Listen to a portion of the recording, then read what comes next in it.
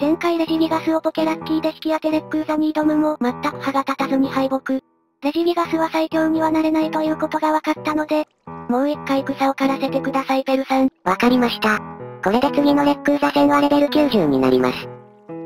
レジギガスを超えるポケモンを手持ちに加えたい。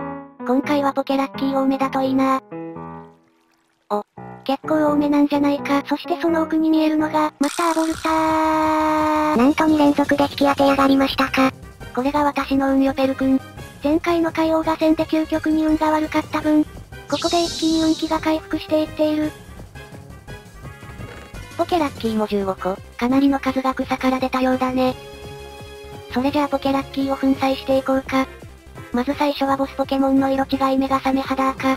倒せたらものすごい量の経験値がもらえそうですね。レジギガス、なんとか討伐してくれ。マットレベル119なのは聞いてないって。え、レックーザなんかはるかにしのいでるレベルなんだけど。耐えましたね。いや握りつぶすでこのダメージは無理だって。スロースタートとはいえど、威力は高いですからね。こりゃ雷でも歯が立ちませんね。目が覚め肌は諦めよう。二つ目。うん、討伐だね。経験値にしよう。今回はパソコンが草から出てこないから、後の2枠を慎重に考えなくてはならない。手持ちポケモンの入れ替えはできませんからね。闇雲にゲットはできませんね。ここからはレックーザに滅法強いポケモンを引き当てないといけない。となると、氷タイプのポケモンですかね。結構ピンポイントで当てないといけないな。そしてシビシラスがシビビールに進化。ちなみにシビルドンにはどうやって進化するんだっけ？雷の石ですね。え、進化できないやん。ポケラッキーで引き当てればいいんですよ。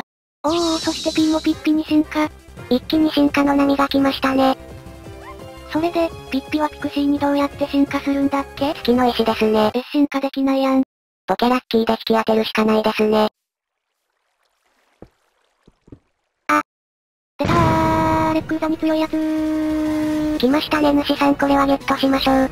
ここでマニューラを引き当てるとは、もうこれは今回で勝てと言っているようなものでしょ。よーしマニューラゲット完了。マニューラゲットできればもう残りの1枠はいらないな。ひたすらレベルアップに専念しよう。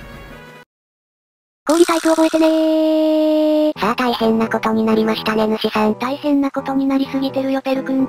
冷凍パンチなんて普通に覚えてるもんかと思ってたのに。レベル90近くになっても覚えないんだったら絶対氷技覚えないじゃん。ここで活躍するのがために貯めた技マシン。さあここに氷技はあるのか。あ、さあ、この状況を待ってましたと言わんばかりに、まさか氷タイプの技マシンまであったとは。冷凍パンチより威力は落ちるけど、これでメガレックーザを倒せる確率は十分に上がったぜ。さあ、今回は手持ちのレベルも十分に高い。頼るべきポケモンはレジギガス以外にもたくさんいるぞ。さあ始まりました。このバトルで倒せるでしょうか。最初はシビビールの電磁波で麻痺させたいところ。凄まじい威力を誇る激鱗に耐えれるでしょうか。やばい強すぎる。ふっふっふ。しかしこれも計算通り。レックーザが激鱗を選択したことにより、ピッピには強制的に激鱗を打つことになる。そしてピッピはフェアリータイプ、すなわち激鱗は無効になるのだ。ここでまさかのピッピ大活躍。甘えるでレックーザの攻撃力をガクッと下げました。最初に P がポケラッキーから出た時は、あーあーこりゃやばいなと思ってたけど、あの時 P が出たのは正解だったのかもしれない。